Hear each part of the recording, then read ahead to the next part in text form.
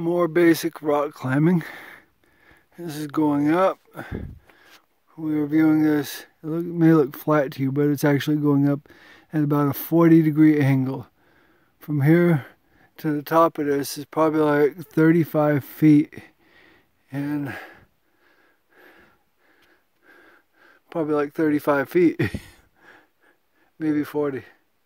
That's crazy. It's really steep.